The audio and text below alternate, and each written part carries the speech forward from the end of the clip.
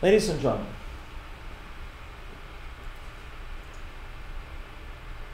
we've talked this week about two powerful computational and informatics rooted traditions. On the one hand, system science, and on the, the other, data science. These traditions are both rooted in a conviction that by leveraging the powers of computation that have been afforded to us by the computer revolution, we can gain extra insights into the world. And when applied to health, that we can gain insights into many phenomena that have remained shrouded in mystery or not been able to be probed with previous tools. Yet these traditions have, have almost without exception been pursued in isolation from one another. Not because of uh, some underlying incompatibility, but because of the vagaries of, of sociological divides, of limitations in, in the breadth of training, and because of their different origins.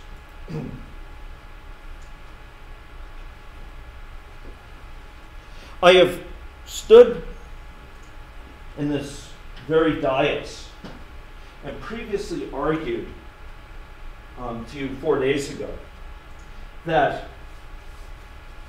these two traditions are compatible.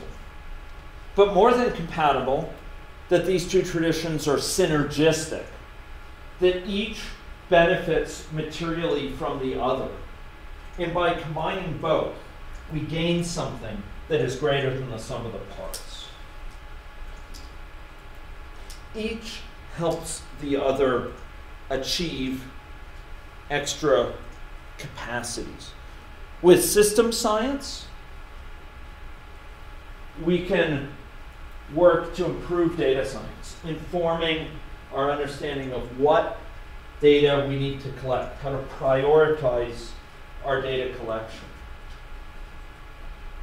Helping our, our data collected through data science lenses from growing numbers of new types of high resolution data of high resolution data, data offering the four V's of volume, velocity, veracity, and variety. To help that data go further, to illuminate the underlying systems that system that data science has aspired to explore. Without system science, I would argue that goal is almost hopeless. With system science, it's a goal that can be achieved. And similarly, on the flip side, with data science, we can help system science achieve its, its potential as well by allowing us to, to ground our theory in observation, to test our theory in the crucible of rich data sources of, of empirical nature by which we can challenge our cherished preconceptions and build a theory more responsive to what we see from the world. And by so doing, to not privilege the data collected by the world as, as somehow sacrosanct, but instead to provide us the insights about how we can change things for the better that forms a, a key tradition within system science. How we can change that data, data generating process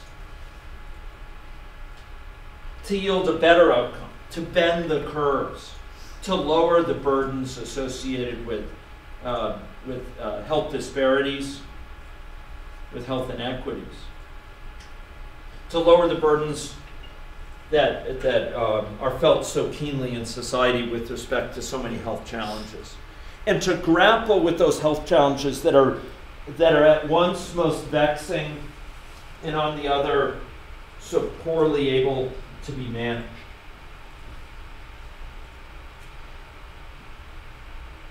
System science can benefit particularly in its aspiration to resolve different generative pathways to action, to the effects of intervention, to those interventions which do change the patterns in the world.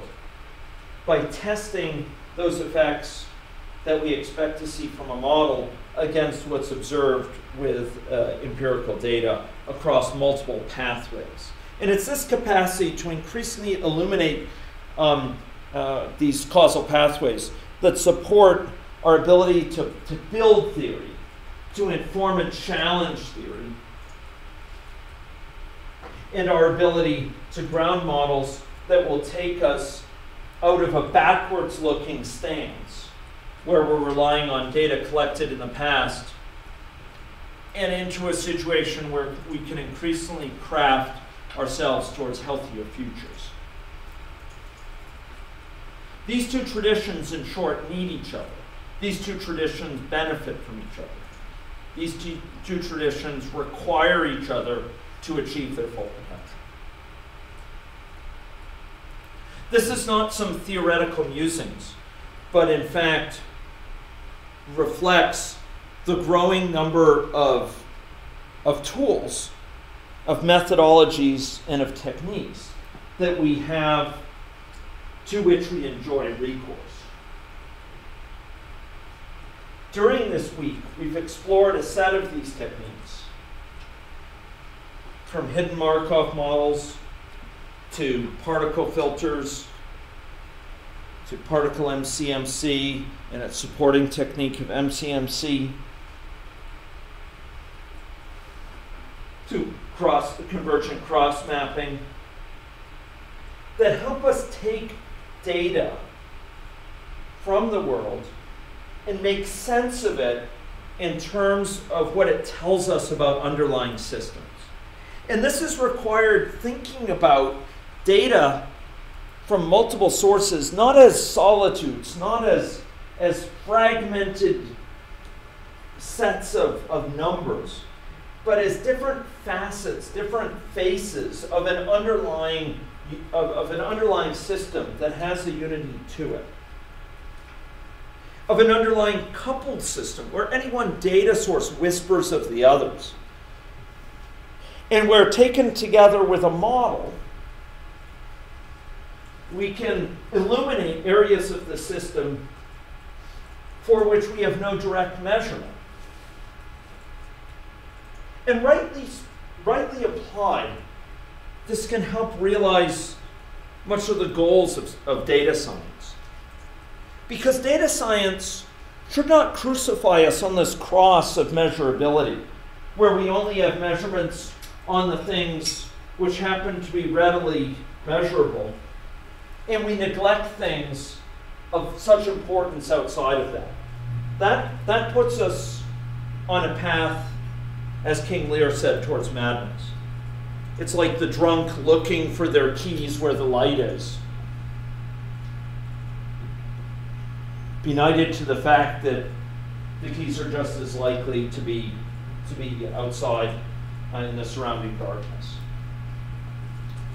Data science with system science together with it can allow data sources to illuminate a much broader set of issues and much provide a much richer picture and provide for a picture that transcends itself in the sense of allowing us to investigate counterfactuals, the effects of counterfactuals, and to ground that potential in evidence, but at the same time allow us to, to consider changes that will change that data generating process.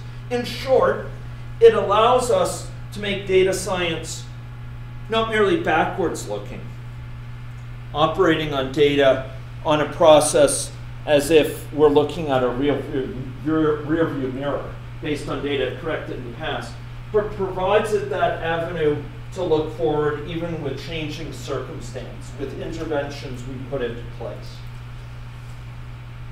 And these methods that we've seen variously for different circumstances provide a concrete means of accomplishing much of that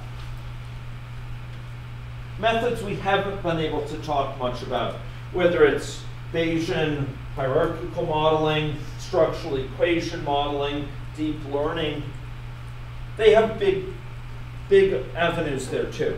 But we must avoid being caught up, in my belief, in a view that truth will come by looking at our back view mirror and just recognizing patterns that have occurred. Because as thinking beings and as a society, we owe it to ourselves to do better than the past, to improve things.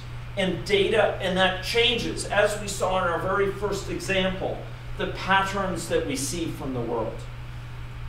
Data provides great insights, but it provides great insights when used, particular insights when used best with models that will tell us how things are likely to change in the future with changed circumstance. Without that, it tends to be contingent upon the, uh, its relevance tends to be contingent upon the observed patterns which are already present. So I would argue, whilst this is a, a first tentative, even wavering step in the directions of, of a synthesis of these two approaches, it's a very important philosophical perspective to take. We will not secure truth anymore from purely from operating on data in the past and reasoning about data in the past and recognizing patterns in the past that will not secure for us a reliable future any more than will a bottle of wine. We owe it to ourselves to, to combine that with models that, that, that help us make broader sense of that data to areas not measured, and most uh, importantly, address that key area not measured, which is a future that is different in terms of its data generating process. Whilst it's great to, to operate with methods that operate on past data for simple recognition tasks, for classification, for reasoning about small pieces of the system, we do well to think about combining it with mechanisms that allow us to ask those key what if questions when it comes to the sphere of human decision making. And that is what this boot camp has been about at its bigger levels whether it's the new types of data sources or the many types of uh, methods examined. They point us towards a richer future in which our decision making can be informed by data collected, in which our choices can be illuminated by what's been collected in the past while not straitjacketing us to us to repeat it. The methods seen here will, will evolve. The data sources that we examine will evolve. There's many details to get this right, and this is a wide open vista, like the province that surrounds us.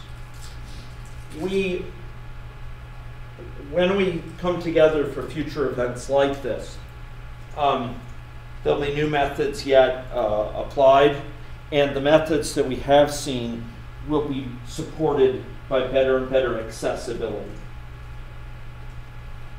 We're trying to provide the tools to allow others to follow this road, which is so promising for ourselves. And um, I'm hoping the resources that we provide to you will provide you that avenue to undertake that journey. If not on your own, at least with less burden.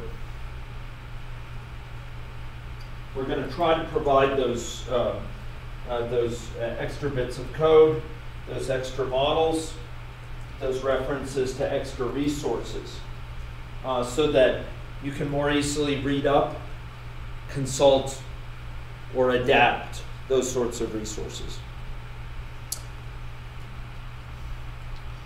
So this is a fast, uh, fast-changing environment, but it's one that that even now offers such manifest promise that it's not to be ignored. I hope this week has provided you some glimpse of the potential of these methods, um, some hints as to promising avenues, and some thoughtful reflections on the nature of data, the nature of underlying systems, and the nature of interventions. It's been my tremendous privilege, pleasure, and honor to be with you and to spend with you this time and to explore this this uh, process, um, explore this this set of topics, which, to the best of my knowledge, have never been talked about elsewhere. I'm so grateful to you for having accommodated my um, the fact that this is the first such workshop.